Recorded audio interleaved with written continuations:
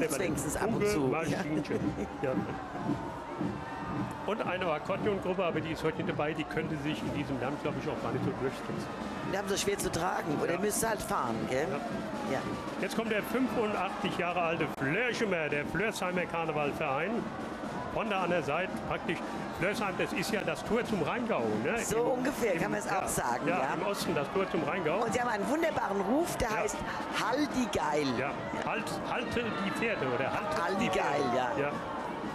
Geil. Und Und, haben sie haben eine wunderbare Sitzungen. Absolut, ja. Ja. ja.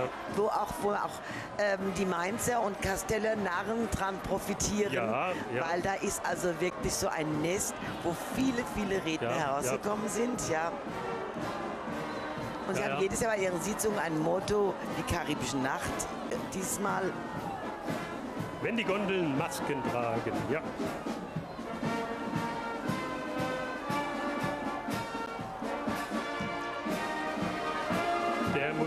Musikverein Flörsheim und Ja. Fiesta. Die spielen auch die Sitzung und begleiten auch dann die Interpreten dort, was also die Sänger, was also wirklich mit viel Mühe und Arbeit ja oft auch zu tun hat.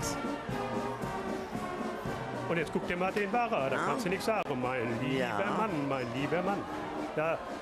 Und der Peter, der ist vorher schon mit Bodebeitel gefahren und jetzt ist er nochmal zu natürlich ein ganz schlauer, ja, ja. Also, Ein sogenannter Doppeldicker. ja, ja. genau. Und da ist auch der Andi Ost ist da Genau, und der genau. Hoppes. Ja, und ihr seht, und hier ist auch noch Dr. äh, Patricia Lovin ist drauf. Ja, Wunderschön Pirate, wunderschöne Wahl. Wirklich schön. ja. Also ich glaube, die sind zum ersten Mal dabei. Ich habe die Flöche mir noch nie gesehen beim Roten. So kann mich nicht erinnern. Aber dafür gleich so in, in, in vollem Outfit.